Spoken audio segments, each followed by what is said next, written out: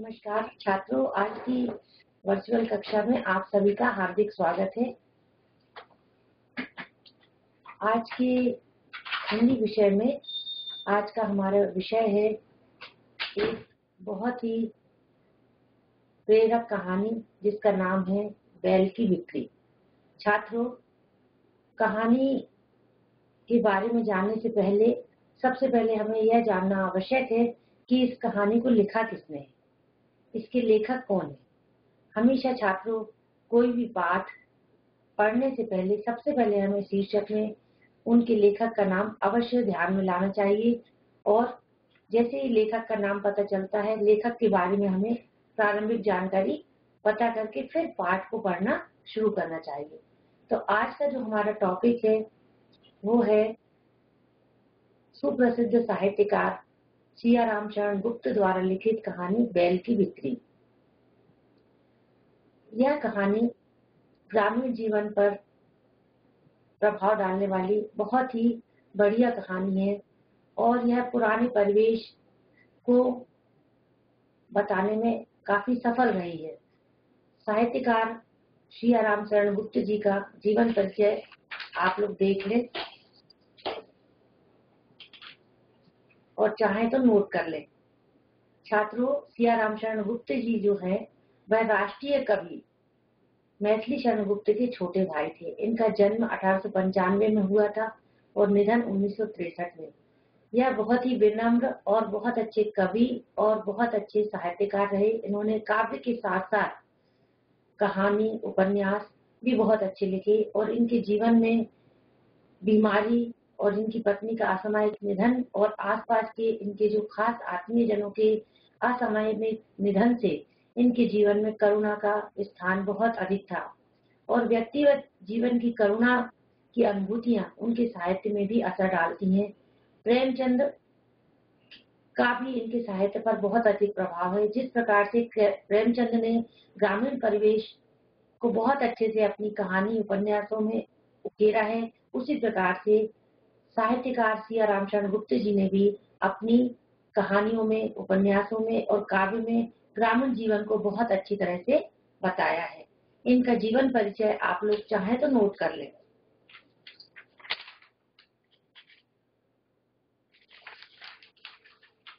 इनके काव्य का विकास सरस्वती पत्रिका से इन्होंने स्टार्ट किया।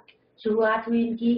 राष्ट्रकवि मैथिली शरण गुप्त का और गांधी दर्शन का इनके जीवन पर बहुत अधिक प्रभाव रहा, जो इनके साहित्य में परिलक्षित होता है। इसके अतिरिक्त इन्होंने नाटक भी लिखे और कहानियों का भी सृजन किया।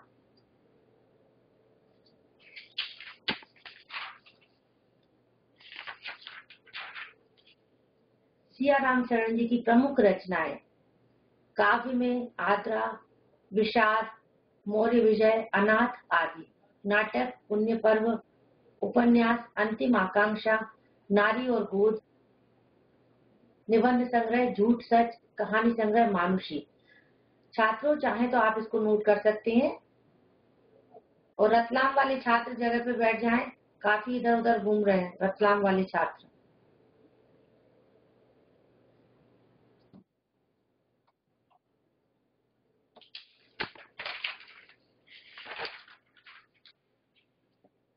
छात्रों, आज की कहानी का शीर्षक है बैल की बिक्री। आप लोगों ने शीर्षक तो आपको याद हो गया होगा, और शायद आपने क्लास में इसका अध्ययन भी किया होगा। आज हम संक्षेप में आपको सबसे पहले कहानी को बताएँगे। तो कहानी को सुनने से पहले, छात्रों, सबसे पहले कहानी के प्रमुख पात्रों के बारे में जानना आपका बहुत आवश्यक है। आप चाहें तो नोट कर लें इस कहानी के प्रमुख पात्र हैं मोहन, जो कि एक ऋणग्रस्त सीमांत किसान है। शिबू मोहन का बेटा है, सेठ ज्वाला प्रसाद महाजन है। गाँव में आप लोगों ने सुना होगा, छात्रों, आजकल तो जमाना खैर बदल गया है, लेकिन गाँव में महाजन जो रहते थे, सेठ जिन्हें कहा जाता था, वह किसानों को कर्ज दिया करते थे। और अक्सर होता यह था कि अगर एक बार किसी किसान ने कर्ज ले लिया तो समझ लीजिए पूरा जीवन तक वह कर्ज को चुका नहीं पाता था। कुछ इस तरह से वो लोग ब्याज लगा देते थे कि व्यक्ति पूरे जीवन भर उस ऋण के बोझ के तले दबकर अपनी ज़िंदगी बिताता था।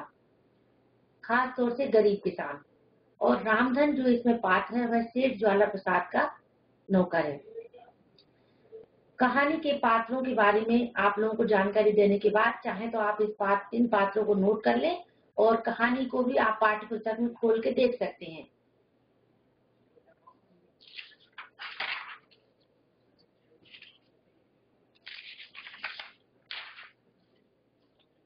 बैल की बिक्री, जो है सिया रामचरण गुप्त द्वारा लिखी हुई बहुत ही सुंदर ग्रामीण परिवेश को परिभाषित करती हुई कहानी है। इसमें एक ऋणग्रस्त किसान के बारे में बहुत अच्छे से वर्णन किया गया है।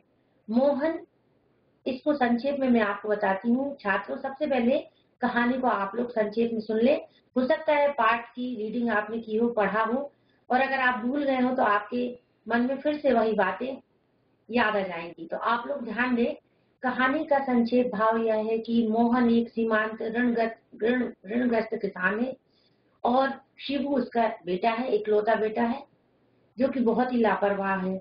और बैलों की एक जोड़ी के सहारे वह खेती करता है मोहन और बैलों की जोड़ी उसकी बड़ी प्यारी है और उसी के सहारे बैलगाड़ी को किराए पर चलाकर और खेती करके वह अपना जीवन यापन करता है। एक समय ऐसा आता है बच्चों कि दो बैल में से एक बैल की मृत्यु हो जाती है। जब एक बैल की मृत्यु हो जाती है तो मोहन बहुत असहाय हो जाता है, क्योंकि उसका खर्चे चलना मुश्किल हो जाता है और उसका जो पुत्र है शिवू वह भी लापरवाह है। पिता उसको चाहता है कि वह समझदार बन जाए, लेकिन उसको किसी काम से मतलब नहीं रहता। वह घर के कामों में कोई रुचि नहीं लेता है, केवल खाना खाने के समय पर घर आता है और या उसको पैसे, रुपयों की ज़रूरत होती है तो वह पिता के सामने आता है। बाकी उसे घर के किसी भी काम से मतलब नहीं रहता। और जैसे ही एक बैल की मृत्यु हो जाती है दो बैल में से तो बैलगाड़ी किराए से जाना भी बंद हो जाती है तो शिवू और भी ज़्यादा स्वतंत्र हो जाता है। अब वह और भी स्वतंत्रता को महसूस करने लगता है। वो सोचता है कि अब एक बैल ने इसका और क्या करे? ये बैल भी, इसको भी बेच दिया जाए तो ज़्यादा अच्छा रहे। लेकिन मोहन कहता है कि देखो बेटा, बैल हमारा जीवन है जैसे हमारे हाथ पैर है, उसी प्रकार से हमारे दोनों बैलों की जोड़ी थी। अगर मान लीजिए कभी किसी दुर्घटना में हमारा एक हाथ कट जाता है तो क्या हम दूसरे हाथ को काट देंगे? वह अपने बेटे शिव को समझाता है। लेकिन शिव उतना ज़्यादा ध्यान नहीं देता, अपने पिता की बातों पर और निकल जाता है। वह अंतर मन से उस बात को नहीं सोचता कि उसके पिता को बैलों की जोड़ी से कितना स्नेह है, कितना प्यार है। एक दिन मोहन अपने पुत्र से कहते, कहता है शिवू से कि शिवू आज मुझे किसी काम से जाना है, तुम आज इस बैल को नहला धुलाकर इसकी इसकी साफ़ वगैरह साफ़ कर दो और इसको खाने को दो। तो शिवू अपने पिता की बात को अनसुना करके कहता है कि, अरे, मुझे टाइम नहीं है, मुझे तो कहीं जाना है। और निकल जाता है। अब मोहन अपने उस एक बैल को बहुत अच्छे से ले जाता है, नहलाता है, धुलाता है और उस दिन और भी ज़्यादा उसके मन में उस बैल के प्रति प्यार उमड़ आता है। जब उसको जाता है, नहलाता है, धुलाता है तो फिर वह यह सोचता है कि देखो, इसको भी मुझसे कितना प्यार है। उसकी पूरी तरह से साफ़ सफ़ाई करके नहला धुला कर और उसकी पीठ को बड़े प्यार से थपथपाता है, उसको खाना देकर और फिर जैसे ही वह वहाँ से निकलता है, बाहर और उसे घर के दरवाजे पर किसी की आवाज़ सुनाई देती है। और जैसे ही मोहन घर के दरवाजे पर जाकर देखता है तो वहाँ पर सेठ ज्वाला प्रसाद का आदमी रामधन खड़ा हुआ रहता है।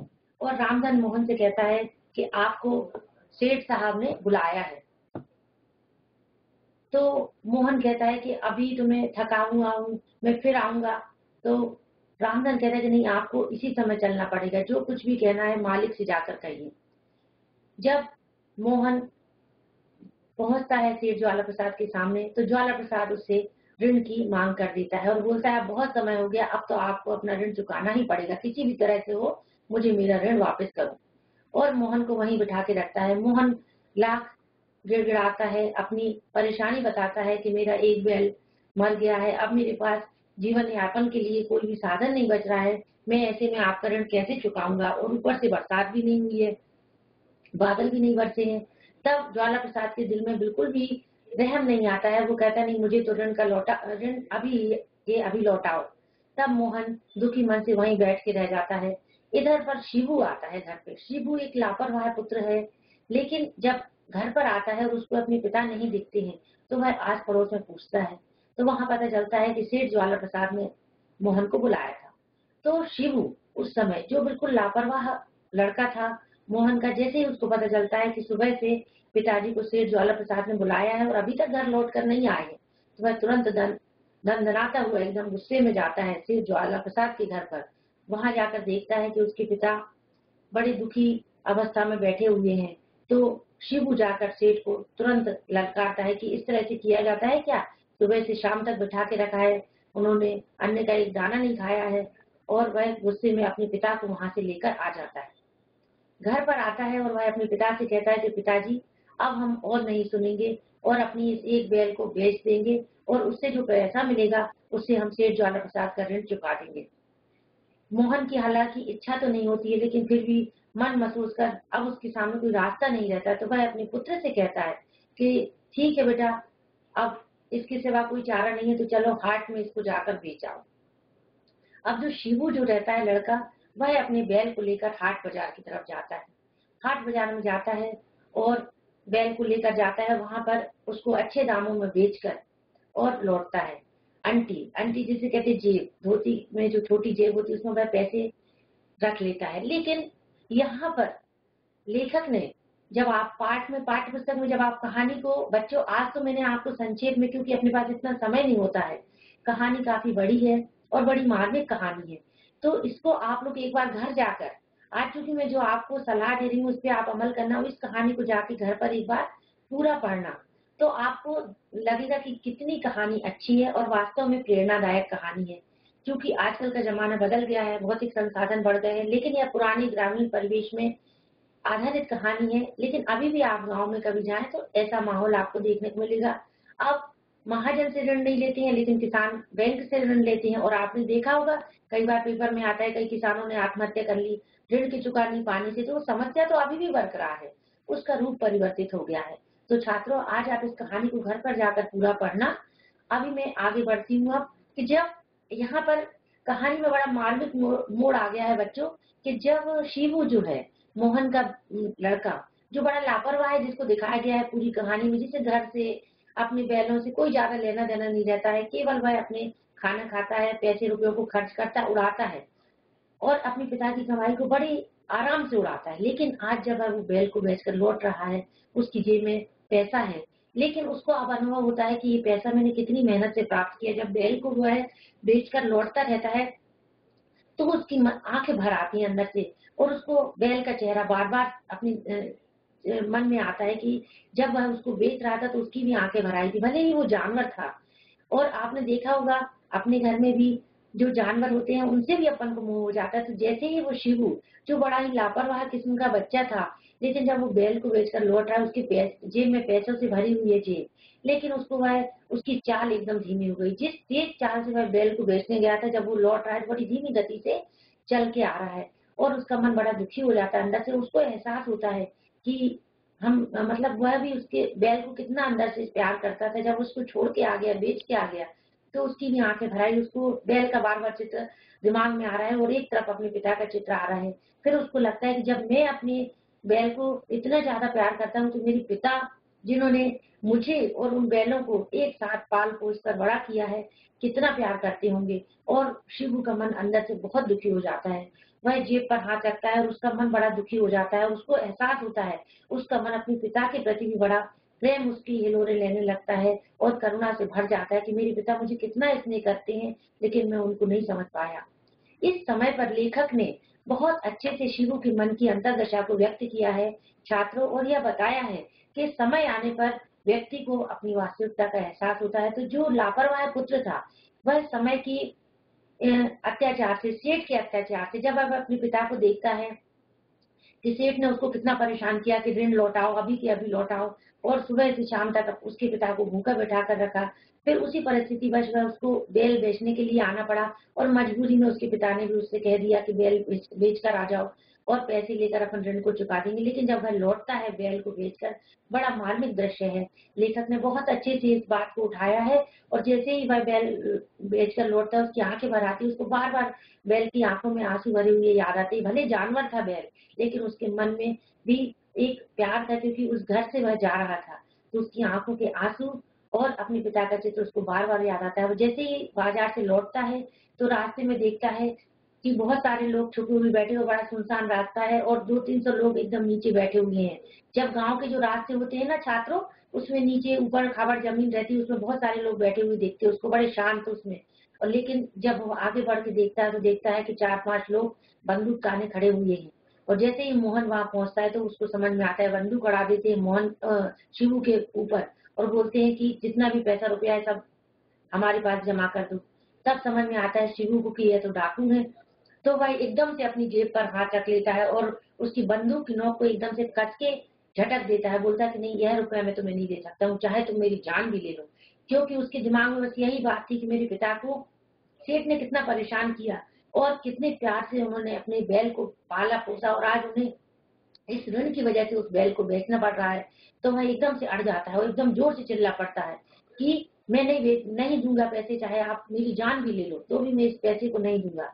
तो फिर डाकू जो रहते एकदम एकदम से सत्ते में आ जाते हैं। वो सोचते हैं कि इतने सारे लोगों ने सारा रुपया पैसा दे दिया, मुझे सारा सोने चांदी का ढेर लग गया, लेकिन एक ये लड़का एकदम से अड़ गया और एकदम गुस्से से चिल्लाने लगता है शिवू। और जैसे ही शिवू चिल्लाता है, विरोध करता है, धक्का देता है डाकू को तो सारे दो तीन सौ लोग जिनको बंधक बना के डाकू ने रखा था, वो सब उठ के उठ खड़े हो जाते हैं और सब ज़ोर ज़ोर से चिल्लाने लगते हैं।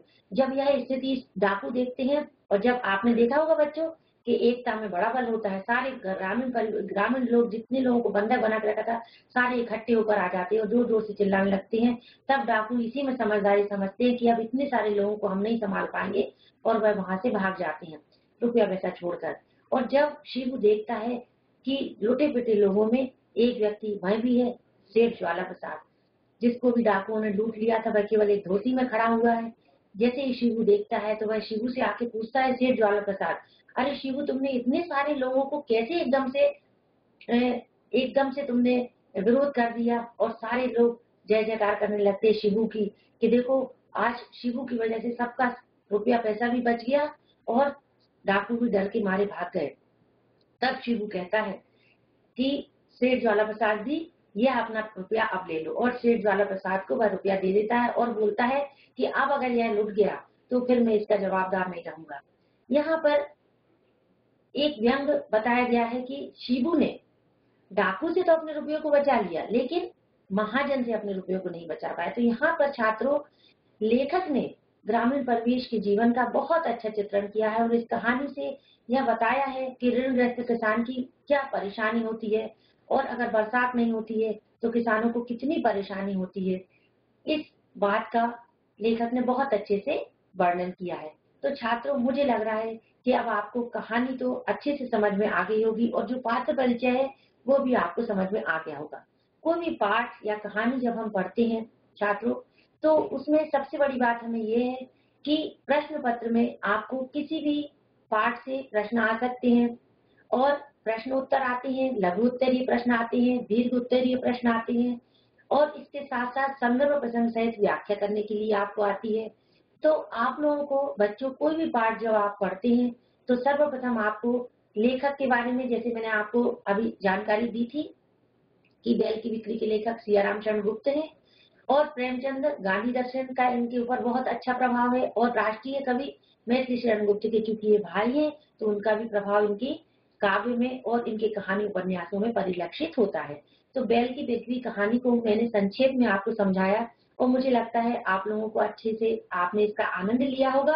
अब इसके साथ में, छात्रों, मैं आपको इस पाठ से संबंधित, इस कहानी से संबंधित जो केंद्रीय भाव है, वो आप लोगों को बताना चाहूँगी कि इसमें जो है शिबू जो है एक केंद्रीय चरित्र है, इस कहानी का।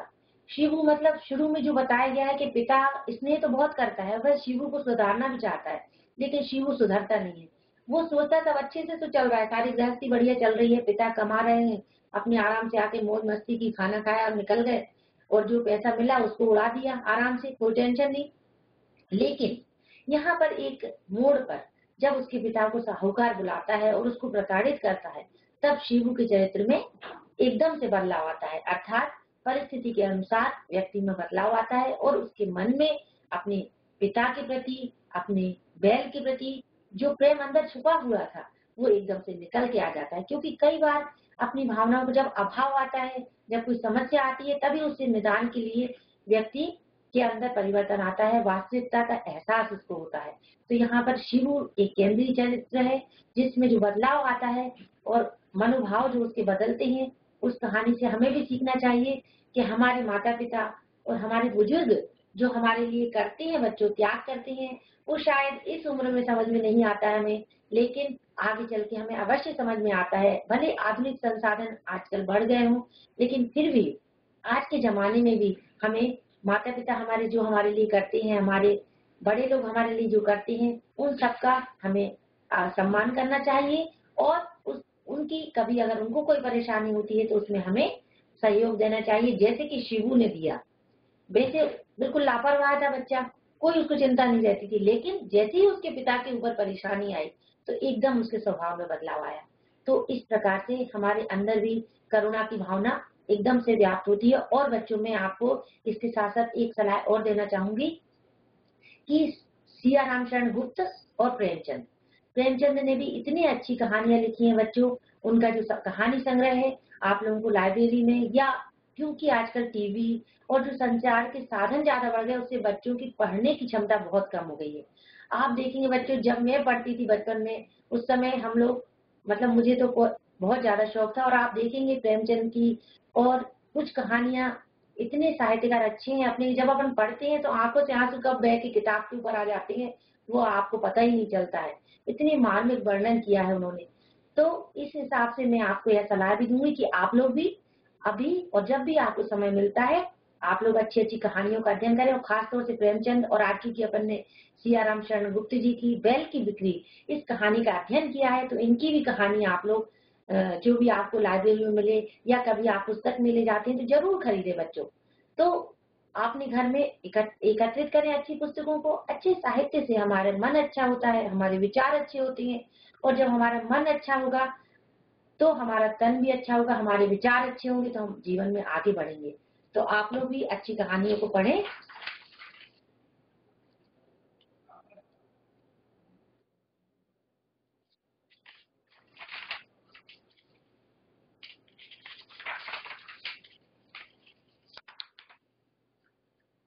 इस कहानी का जो खास पात्र है शिवू प्रतिकूल परिस्थितियाँ, चेतनावान युवक को संवेदनशील संवेदनशील ही नहीं बनाती, बल्कि उसे कर्तव्य बोध से भी अनुप्राणित कर देती है। शिवू के अंदर कर्तव्य की भावना भी आ गई। जैसे ही उसके पिता को कष्ट दिया महाजन ने, तब उसके दिमाग में एकदम से कि पिता सुबह से शाम तक भूखा बैठा है और बैल की बिक्री करने के बाद बैल से अलग होने की पीड़ा से वह पिघल जाता है। और उसको लगने लगता है कि बैल उसके एक भाई के समान था। जब वह उसको दे के आ जाता है तो बच्चों, छात्रों, यही हमारे साथ भी है कि जो चीज़ हमारे साथ होती है, सामने होती है, उसकी हमें कद्र नहीं होती है। लेकिन जब वह हमसे दूर हो जाती है, तब हमें उसके बारे में एहसास होता है। तो यह केंद्रीय भाव है, इसको आप लोग नोट कर सकते हैं। और इस पात्र के द्वारा लेखक ने लेखक ने जो ग्रामीण जीवन में महाजनों का जुल्म होता है। उसको भी बताया है अच्छे से। और यह भी बताया है कि एकता में बड़ा बल रहता है। जैसे अगर शिवु प्रतिरोध नहीं करता तो सारे लोग अपना सारा सोना चांदी छोड़कर मनोवैज्ञानिक प्रभाव भी यह कहानी बहुत अच्छे से प्रस्तुत करती है। और एक अकेला व्यक्ति जब साहस कर लेता है तो उसने उतने बड़े डाकुओं को, जिनसे 200-300 की भीड़ एकदम डर के बैठी हुई थी, चुपचाप सहमी हुई, और एक व्यक्ति ने उसका विरोध किया तो अन्याय को सहन नहीं करना चाहिए, अन्याय का साहस से मुकाबला करना चाहिए। इस साहस, इस कहानी से हमें मिलता है कि इस रूप में अगर एक व्यक्ति भी प्रतिरोध करता है गलत बात का तो उसके साथ में बहुत सारे लोग आ जाते हैं। और यह शिव का जो प्रयास है, वह काफ़ी प्रशंसनीय है।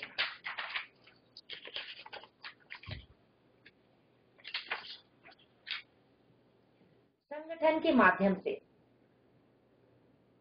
जो अन्याय का सार्थक प्रतिरोध है, वह इस कहानी के उद्देश्य में निहित है।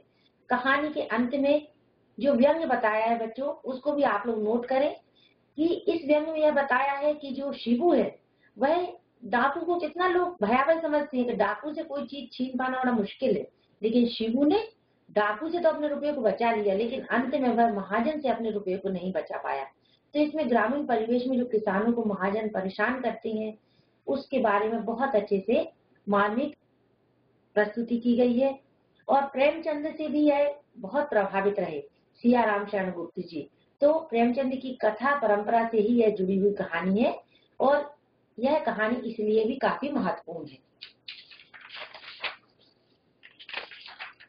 और साहूकार की हृदयहीनता और विपन्न किसान की दयनीयता के माध्यम से सामाजिक वैषम्य को भी यह कहानी व्यक्त करती है और इसमें साहूकार और किसान के बीच के जो अंतर को बताया गया है, उसको भी बताया गया है। हालाँकि आज आजकल रूप बदल गया है बच्चों, लेकिन फिर भी लोन की जो प्रक्रिया है, उसको आप लोगों ने देखा ही होगा कि कई बार जब बारिश नहीं होती है तो किसान, कितने किसान अभी भी, अभी दो तीन साल पहले से पेपर में कितनी बार आता है कि आत्महत्या कर लेते हैं। तो इसके बारे में भी सरकार को सोचना चाहिए और किसानों की इस दशा के लिए सुधारने के लिए प्रयत्न करना चाहिए कि खेती ही हमारा जीवन है। अगर अन्न की उपजाऊ नहीं होगी, आपने देखा ही होगा खेती धीरे धीरे आजकल जो ग्रामीण लोग हैं, वो भी सब शहर में आना चाहते हैं। क्योंकि सब शहर की चकाचौंध से भ्रमित है। लेकिन जो हमारे देश की सुंदरता है, वह ग्राम ग्रामीण जीवन में ही निवास करती है। और अगर खेती नहीं होगी तो अन्न कहाँ से उपजाऊ होगा? और अन्न नहीं होगा तो इंसान खाएगा क्या?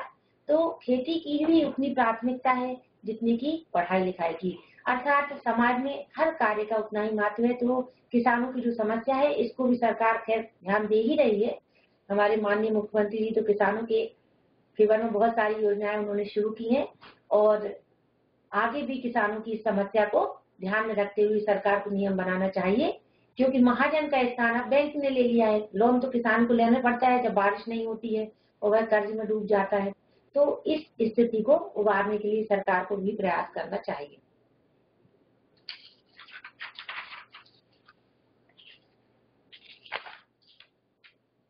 छात्रों, इस कहानी को पढ़ने के बाद में, आज कहानी का संक्षेप में आपको बता दिया मैंने। इसके बाद में लेखक परिचय। लेखक परिचय भी आपके प्रश्न पत्र का प्रमुख अंग है और पाँच नंबर का लेखक परिचय दो आते हैं, जिनमें से एक आपको लिखना है।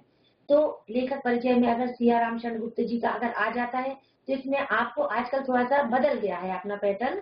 इसमें आपको दो रचनाएँ पूछी जाती है छात्रों, भाषा शैली और साहित्य में स्थान। तो यहाँ पर मैं आपको एक के साथ साथ दोनों, दो लेखकों के बारे में बता रही हूँ। जैसे सिया रामचंद्र गुप्त जी और प्रेमचंद जी। दोनों की ग्रामीण परिवेश में लिखी हुई कहानियाँ काफ़ी सफल हुई है, उपन्यास, कहानी, और इनकी जो भाषा है वह सरल और सहज है। तो एक साथ आप रचनाएँ दोनों की लिख लीजिएगा, और साथ साथ इनकी जो भाषा शैली है, वह भी लगभग एक समान है। जैसे गुप्त जी की भाषा भी सरल, सुस्पष्ट और आम जनता की समझ में आने वाली है। बीच बीच में इन्होंने मुहावरों के प्रयोग से भाषा में सजीवता और रोचकता लाई है। शैली भी इनकी सरल है और साहित्य जगत में तो उनका बहुत ही अमूल्य स्थान है, क्योंकि इनका जो साहित्य है, वह बहुत ही अच्छा इन्होंने लिखा है और ऐसी शैली में लिखा है जो आम जनता के करीब है और आम जनता के मुद्दों को उठाता है, आम जीवन के समीप है और ऐसी समस्याओं को इन्होंने इसमें उठाया है जो वाकई में हमारे आसपास व्याप्त है। तो गुप्त जी और प्रेमचंद जी। दोनों का लेखक परिचय आप लोग तैयार कर लें। सिया रामचरण गुप्त जी का कहानी संग्रह, मानुषी, बहुत ही अच्छा कहानी संग्रह है बच्चों। अगर आप लोगों को समय मिले तो आप एकत्रित करें और इनकी कहानियाँ पढ़ें। ये आपको जीवन में बहुत आगे बढ़ने की प्रेरणा भी देंगी और आपके ज्ञान को भी बढ़ाएँगी। और गुप्त जी की भाषा भी सरल है, सुस्पष्ट है, परिष्कृत है। और मुहावरों का इन्होंने भी बहुत अच्छा प्रयोग किया इसी प्रकार से प्रेमचंद जी ने भी। तो यहाँ पर मैंने आपको एक साथ दो लेखकों के बारे में बता दिया है, क्योंकि लेखक परिचय में आपको भाषा शैली, दो रचनाएँ और साहित्य में स्थान पूछा जाता है लेखक में। तो एक साथ आपके पास दो रचनाएँ, आप प्रेमचंद जी की भी जैसे गवन है उनकी उपन्यास, ईदगाह कहानी उनकी तो दो रचनाएँ उनकी आप तैयार कर लीजिएगा। और इस प्रकार से आपके दो दो लेखक एक साथ तैयार हो गए। इसको आज आप लोग घर पे जाकर भी तैयार कर लीजिए बच्चों तो आपका यह पूरा पाठ कहानी का तैयार हो जाएगा। अब चूँकि कहानी आपको मैंने संक्षेप में समझाई, इसके साथ साथ आपको अब पात्र भी याद हो गए होंगे और अब आप लोगों को इससे संबंधित जो अति लघु उत्तरीय प्रश्न निकल के आ रहे हैं, वो आपको मुझे लगता है कि आप बन जाएँगे। अगर आगे आपसे कांटेक्ट होगा तो मैं आपसे पूछूँगी। तैयार करके रखें आप लोग। जैसे अति लघु उत्तरीय जो प्रश्न है, वो निकल के आ रहे हैं कि खेतों के पौधे असमय ही क्यों मुरझा रहे थे? क्योंकि बादल समय पर पानी नहीं आती। जब बरसात नहीं होती है तो पौधे असमय मुरझाएँगे। अब इसमें पूछा गया आपको एक एक नंबर के जो क्वेश्चन आते हैं अति लघु उत्तरीय में, जैसे महाजन का नाम आपसे पूछा जा सकता है। और डाकू कितने थे? डाकू पाँच थे।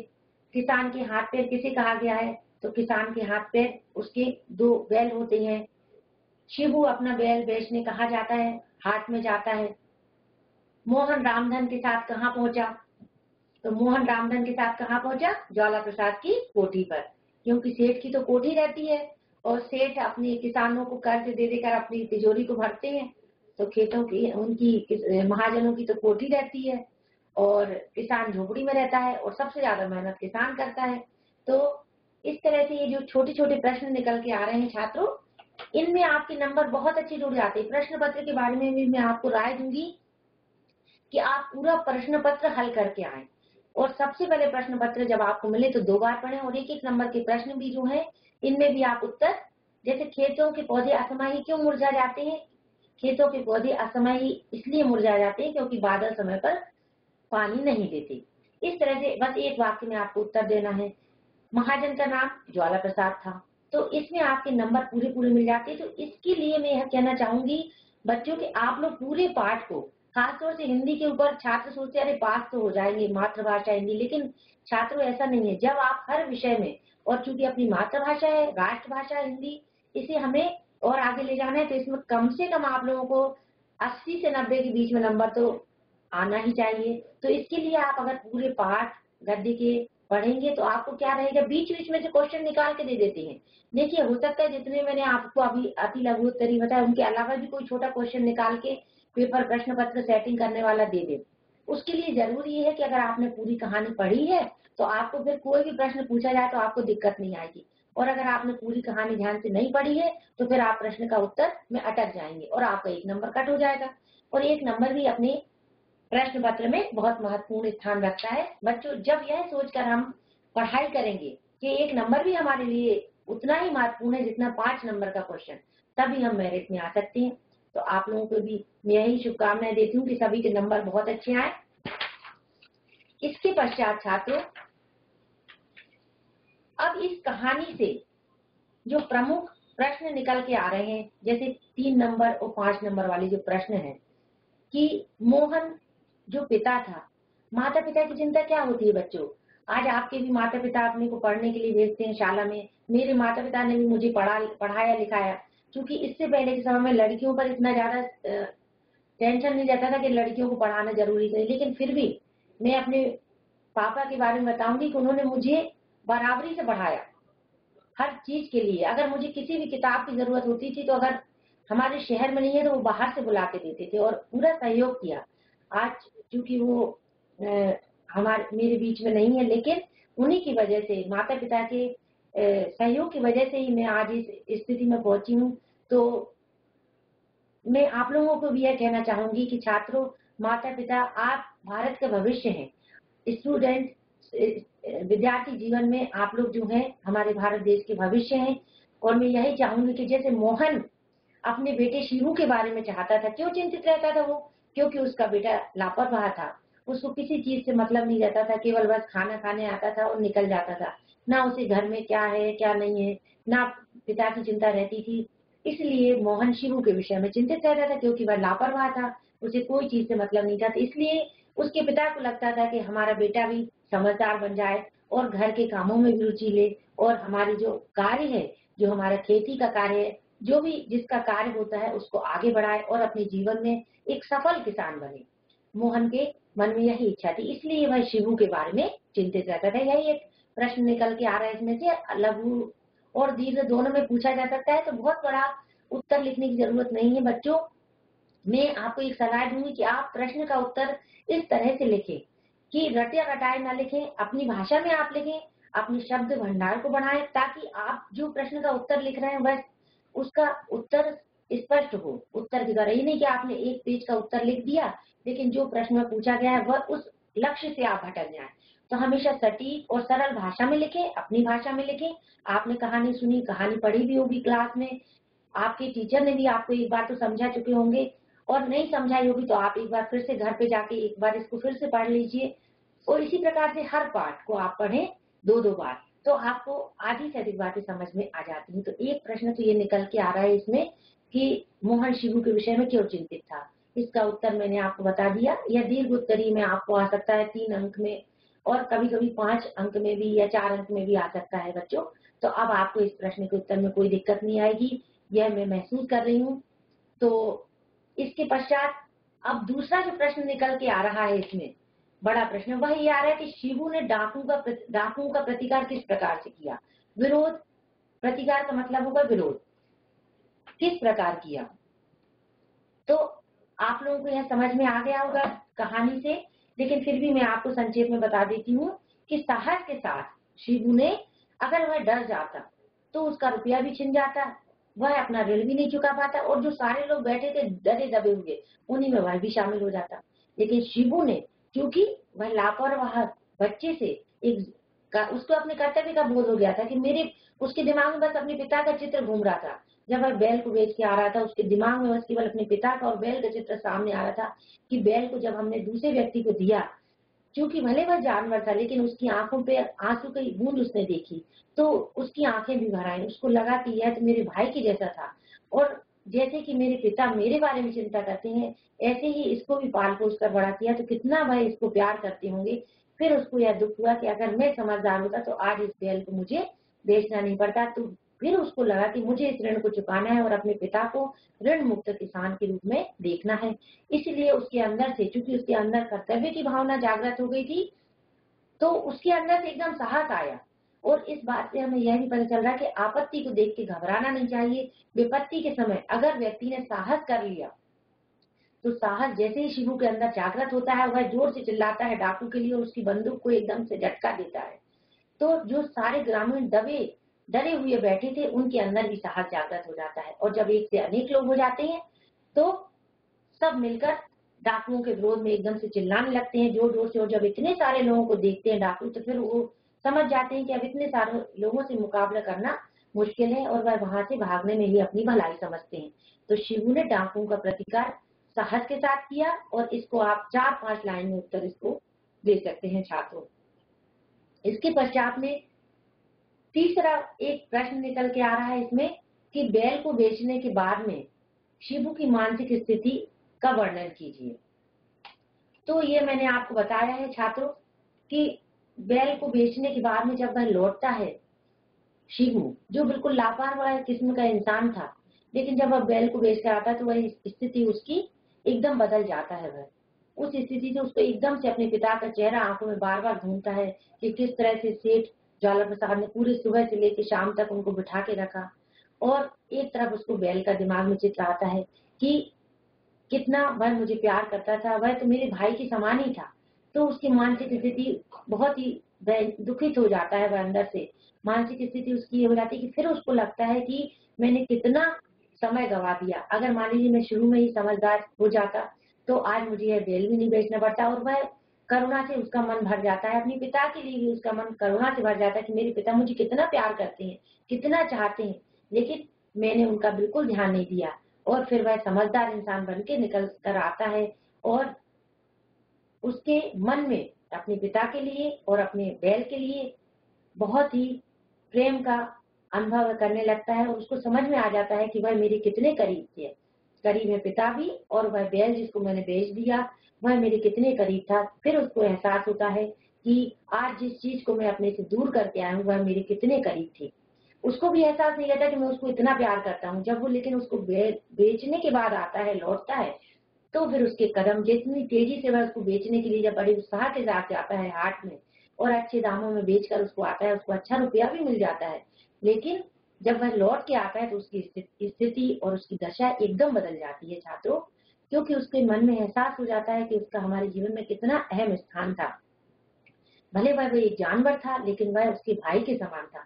उसको महसूस हो जाता है और फिर उसको अपनी सारी गलतियों का एहसास हो जाता है और वह फिर घर की तरफ़ लौटता है। तो इसमें इसी बात को बताया गया है कि इंसान की परिस्थिति के द्वारा ही अपनी वास्तविक स्थिति को समझ में आती है। जब उसके ऊपर विपत्ति आती है, तब उसको एहसास होता है कि जो लोग उसके करीब हैं, वह उसको कितना प्यार करते हैं और उनसे वह कितना दूर था। यह उसको समझ में आ जाता है और उसके मन में सारी मानवीय भावनाएँ जाग जाती हैं, अपने पिता के प्रति, अपने बैल के प्रति और फिर वह अपने घर की तरफ़ लौटता है। एक समझदार पुत्र बन के वह अपने घर की तरफ़ लौटने लगता। है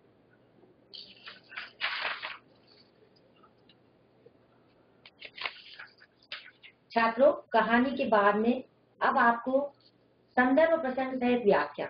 इस कहानी का आज मैंने आपको पूर्ण रूप से संक्षेप में बता भी दिया और जो भी लघु उत्तरीय, दीर्घ उत्तरीय प्रश्न इसमें से निकल के आ रहे थे वो भी आपको समझाए। और एक प्रश्न आपको संदर्भ प्रसंग सहित व्याख्या भी आती है। तो दो आपको प्रश्न पत्र में पूछी जाती हैं, दो में से आपको किसी एक की संदर्भ प्रसंग सहित व्याख्या करना होती है। तो छात्रों, आपको किसी भी पाठ में से, गद्य के पाठ में से कुछ लाइनें दे दी जा सकती हैं। जैसे इस पाठ में से एक बहुत ही सुंदर जो तीन चार लाइन का जो प्रसंग है, वो मैं आपको निकाल के दे रही हूँ। जैसे संदर्भ प्रसंग से व्याख्या के लिए आ जाता है ये। तो इसको आप लोग पढ़ लें, आपको दिखाई दे रहा, वो ईश्वर ने उसके स्वच्छंद विचरण के पथ में एक सुविधा और कर रखी थी। घर वालों के साथ उसका वही संबंध जान पड़ता था, जो खेती के साथ उन बादलों का होता है, जिनके दर्शन ही नहीं होते, है ना? यदि कम आए, इसमें शिव के लापरवाह स्वभाव को बताया गया है। तो संदर्भ प्रसंग सहित व्याख्या में अगर आपको ये लाइन दी जाती तो सबसे पहले छात्रों, आपके दिमाग में कोई भी संदर्भ प्रसंग सहित व्याख्या के लिए आपको अगर गद्यांश आता है तो उसको पढ़ के आपके दिमाग में तुरंत आ जाना चाहिए कि यह किस पार्ट से लिया गया है, इसके लेखक कौन है। इसलिए मैं आपको जब भी इस कक्षा में आती हूँ, मैं हमेशा बताती हूँ कि छात्रों, हर पाठ के लेखक का नाम आप अवश्य ध्यान में रखें, क्योंकि पूरा पाठ जुड़ा हुआ रहता है। जैसे आपको संदर्भ सहित व्याख्या आती है तो उसमें संदर्भ में आपको यही लिखना पड़ता है कि यह जो गद्यांश है, वह किस पाठ से लिखा गया, लिया गया है, इसके लेखक कौन है? तो इसके संदर्भ में आप लोग लिखेंगे कि यह जो गद्यांश है, वह बैल की बिक्री कहानी से लिया गया है हमारी पाठ्य पुस्तक में, और इसके लेखक सियाराम शरण गुप्त हैं। इसके पश्चात प्रसंग। प्रसंग में इसमें व्यंग्यात्मक वर्णन किया गया है। जब क्योंकि शिबू तो शुरू में लापरवाह है। खंडवा की छात्र छात्रा अपनी जगह पर बैठ जाएँ। अभी आपसे प्रश्न पूछे जाएँगे। तो इसमें शिबू के स्वच्छंद विचरण के बारे में बताया गया कि वैसे ही वो लापरवाह रहता है और जब एक बैल मर जाता है उसका तो वह और स्वतंत्र हो जाता है। और वह उसी समय पे आता है जब उसको ज़रूरत होती है पैसों की या भोजन की और बाकी समय आराम से घूमता रहता है। तो इस गद्यांश में लेखक ने यही बताया है।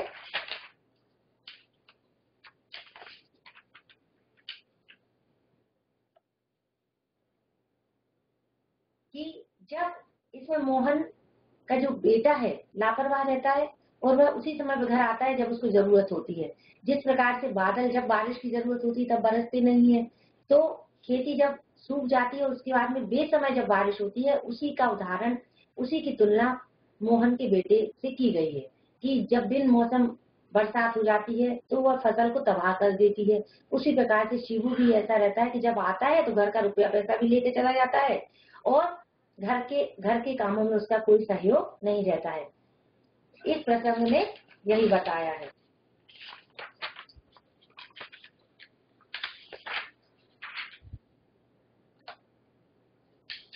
छात्रों, संदर्भ प्रसंग से जब व्याख्या करने आती है तो आपको इसमें विशेष का लिखना आवश्यक रहता है। अगर आप विशेष लिखते हैं तो आपकी प्रश्न पत्र को जांचने वाली, उत्तर पुस्तिका को जांचने वाले के ऊपर भी इम्प्रेशन अच्छा पड़ता है और इसका एक अंक भी होता है।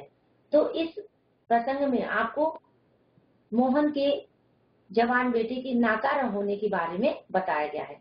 इसकी भाषा सरल है, सहज है और शैली व्यंग्यात्मक है। इसमें बिन बारिश बिन मौसम जब बरसात होती है, जो फ़सल को तबाह करती है, उससे तुलना मोहन के बेटे की की गई है।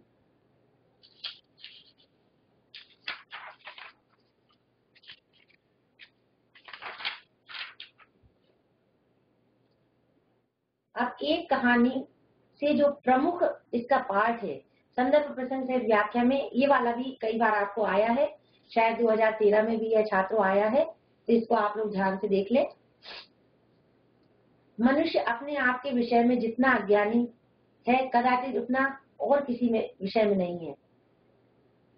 यह जो गद्यांश है, इसमें यह बताया गया है कि मोहन का बेटा शिवू रोज घर आता है, रोज बैल को देखता है, पिता उसका सारा काम करके रखता है और बस भोजन करने के लिए आता है, रुपए, पैसों की ज़रूरत होती है, जब आता है।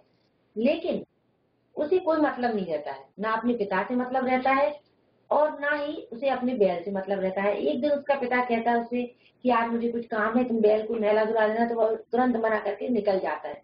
कि मुझे टाइम नहीं है, मुझे कहीं और जाना है। लेकिन जब वह आखिर में बैल को बेचकर लौटता है, तब उसे बार बार अपनी बैल की सूरत याद आती है और उसको लगता है कि मानो कि जब उसने बैल को दूसरे के हाथों में सौंपा तो देखता है कि उसकी भी आँखों में आँसू आ गए थे और वह उदास हो गया था। तो जैसे वह बैल को बेच के आता है। इस गद्यांश में बताया गया है कि जैसे वह बैल का विचार अपने दिमाग से हटाता है तो उसको अपने पिता का मुरझाया हुआ चेहरा सामने आ जाता है, जो सिर्फ़ ज्वाला प्रसाद के सामने दुखी, दीनहीन बैठा हुआ था। तो उसको ऐसा लगता है कि बैल बैल और पिता दोनों मानो एक ही चित्र के दो रूप है। बार बार उसके आँखों के सामने लौट फिर कर दोनों उसके पिता का और उसके बैल का चित्र सामने आ जाता है। तो इस गद्यांश में यह बताया गया है कि वह मनुष्य जो होता है जो उसके आसपास रहता है जैसे कि मैं आपको एक उदाहरण देना चाहूँगी। अभी आज आते आते मैं सुन रही थी कोई टीवी में कार्यक्रम चल रहा था तो उसमें वक्त के ऊपर से आ, कुछ बात हो रही थी तो वक्त क्या है? वक्त से हर चीज़ जुड़ी हुई है लेकिन अपन कभी नहीं सोचते कि समय आया है चला गया है। इसी प्रकार से मनुष्य के आसपास भी जो लोग रहते हैं उनके बारे में कभी कोई नहीं सोचता है कि उनका क्या महत्व है उनके जीवन में? लेकिन अगर उन लोगों में से या उस व्यक्ति में से या उन चीज़ों में से कोई चीज़ दूर हो जाती है, अगर मान लीजिए घर में से कोई सामान कोई चुरा ले जाता है तो फिर उस सामान की बहुत याद आती है क्या अरे वो हमारे लिए बड़ा उपयोगी था, बड़े छोटी सी चीज़ होती है कोई। लेकिन अगर वो सामने नहीं देखती है, फिर उसके बारे में इंसान को याद आती तो मनुष्य का भी यही है। इसमें शिवु के चरित्र के द्वारा इस गद्यांश में यही बताया गया है कि मनुष्य अपने आसपास जो लोग होते हैं उनके बारे में कभी सोचता नहीं है कि उनका उसके जीवन में क्या महत्व है। इसमें शिवु के द्वारा बताया गया है कि शिवु पूरे जीवन में आराम से घूमता फिरता रहता था। उसको ना अपने बैल से मतलब था, ना अपने घर के साजो सामान से मतलब था, ना अपने पिता से मतलब था। लेकिन बाद में उसके अंदर एकदम से परिवर्तन आता है। अर्थात व्यक्ति के अंदर जैसे ही वास्तविकता का बोध होता है तो उसके अंदर कर्तव्य की भावना भी जागृत हो जाती है और अपने पिता के प्रति उसके मन में सम्मान और प्यार भी उमड़ आता है। यह इस गद्यांश में बताया गया है। और इस सं, इसमें भी संदर्भ में छात्रों आपको यही लिखना हमेशा पूर्ववत रहेगा कि यह बैल की बिक्री से लिया गया है इसके लेखक सियाराम शरण गुप्त है। और यहाँ पर प्रसंग में आपको इन इस गद्यांश में जो प्रमुख बात समझाई गई उसके बारे में बताना है।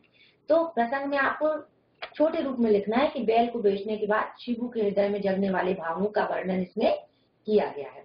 व्याख्या में आपको इसको समझाना है, जो मैंने आपको दो तीन बार अभी समझा दिया है तो मुझे उम्मीद है कि आप लोग अब इसको आसानी से लिख लेंगे। अब इसमें भी विशेष जो निकल के आ रहा है कि व्यक्ति को समय आने पर ही अपनी वास्तविकता का समय होता है और उसके आसपास जो चीज़ें होती हैं, जो व्यक्ति होते हैं, जब उनके बारे में उसको असली वास्तविकता का ज्ञान होता है, तब उनके महत्व के बारे में भी उसको पता चलता है। तो व्यक्ति को अपनी वास्तविकता का बोध समय पर होता है। और ऐसा ही व्यक्ति समझदार माना जाएगा, भले ही शुरू में शिबू का जो चरित्र है बड़ा लापरवाह किस्म का बताया गया, लेकिन कहानी के अंत होते होते उसको एक समझदार और कर्तव्य परायण पुत्र के रूप में लेखक ने बताया है और बड़ा ही मार्मिक चित्रण किया है। इस कहानी से हमें यही पता चलता है कि समय आने पर अगर व्यक्ति के मन में कर्तव्य का बोध हो जाता है तो वह व्यक्ति ही सही है। अगर समय आने पर अपनी भूल को सुधार लिया तो वह व्यक्ति भी एक अच्छा इंसान बन सकता है जीवन में आगे चल के। इस गद्यांश की भाषा भी सरल और सुबोध है। विशेष में आप इसको लिख सकते हैं।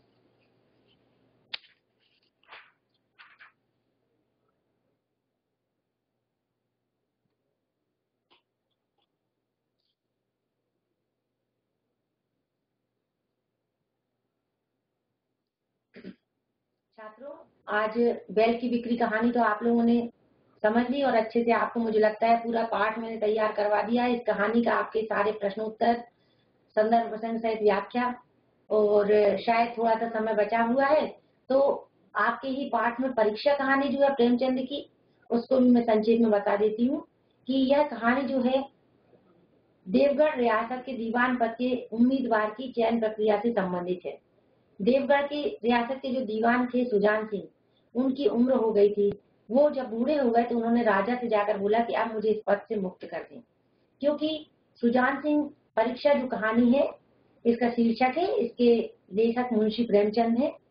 तो इसमें जो है, प्रेमचंद जी ने बहुत ही अच्छा जैसे कि अभी सियाराम चंद्र गुप्त जी ने बैल की बिक्री कहानी में बहुत ही मानवीय वर्णन किया इसी प्रकार से इसमें भी उन्होंने देवगढ़ रियासत में जो दीवान के पद के चयन की प्रक्रिया है, उसको बहुत अच्छे से समझाया है। तो जो दीवान बूढ़े जब हो जाते तो वह राजा से विनती करते हैं कि अब मुझे इस पद से हटा दिया जाए। तो राजा उनसे कहते हैं कि आपके जैसा व्यक्ति मुझे मिलेगा कहाँ? आप ही ऐसे व्यक्ति को ढूंढ कर लाइए।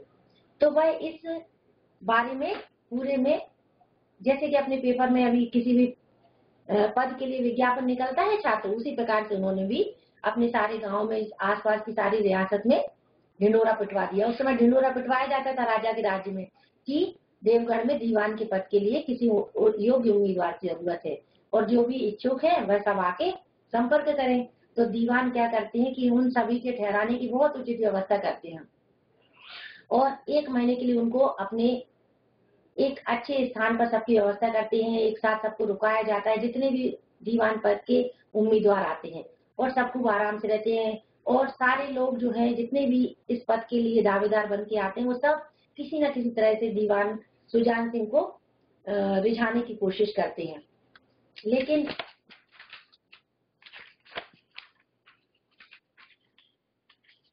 इसमें दीवान उन सबको ठहरा के एक दिन दीवान साहब क्या करते हैं कि हॉकी के मैच का आयोजन करते हैं। और सारे लोग उसमें जितने भी दावेदार रहते हैं, वो सब खूब मस्ती से खेलते हैं, हॉकी का खेल होता है। और गाँव में तो देखा होगा आपने, शाम हो जाती है धीरे धीरे जब शाम का अंधेरा होने लगता है, सारे खिलाड़ी बहुत ही खेल का आनंद उठाते रहते हैं, और जैसे ही शाम होती है तो सारे खिलाड़ी जब जाने लगते हैं, लौटने लगते हैं खेल कर तो देखते हैं कि एक जो बैलगाड़ी लिए व्यक्ति है, उसकी बैलगाड़ी कीचड़ में, नाले की कीचड़ में फंस गई है। तो कोई भी खिलाड़ी देख के रुकता नहीं है, सारे आगे बढ़ते जाते हैं, और जो किसान रहता है, वह सबको आवाज़ लगाता है कि मेरी बैलगाड़ी को निकलवाने में मदद करो, लेकिन कोई भी उसकी मदद के लिए आगे नहीं आता है। लेकिन एक खिलाड़ी जो थोड़ा सा पैर में खेलते समय जख्मी भी हो जाता है, वह आगे आता है और वह किसान की बैलगाड़ी को निकलने में मदद करवाता है। और वह कहता है किसान से कि थोड़ा सा आप आगे धक्का लगाइए और पीछे से वह धक्का देता है और धीरे धीरे करके काफ़ी प्रयास के बाद में बैलगाड़ी को वह नाले के ऊपर कर देता है और बैलगाड़ी बाहर निकल के आ जाती है। तो इस प्रकार से जब जैसे ही वह बैलगाड़ी निकल के बाहर आ जाती है, तब उस समय जब देखता है वह खिलाड़ी तो उसको कुछ कुछ लगता है कि इनकी, इस किसान की शक्ल तो कुछ कुछ दीवान सुजान सिंह से मिल रही है। तो फिर बाद में सुजान सिंह उसको कहते हैं कि दीवान पद की आपको बधाई हो। और अंत में जब घोषणा करते हैं वह दीवान पद के दावेदार व्यक्ति की तो वह उसी को दीवान पद के लिए नियुक्त करते हैं, क्योंकि उसी में यह योग्यता थी जिसमें दया होगी, मानवता होगी, वही व्यक्ति दीवान पद के योग्य है। अगर जिसके अंदर मानवता नहीं है, दया नहीं है तो वह किसी का क्या ध्यान रखेगा?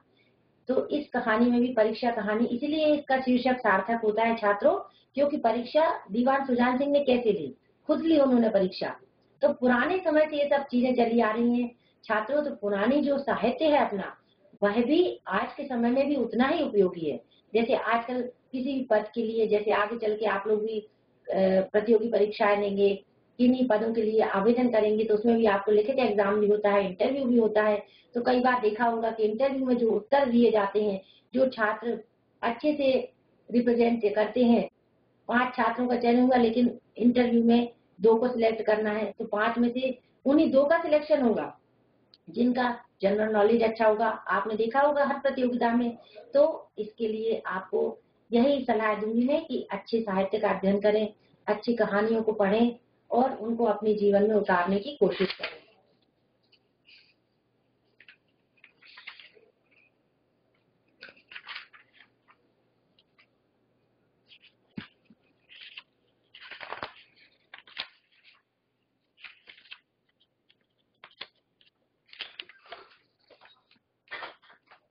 इसमें से जो है समझ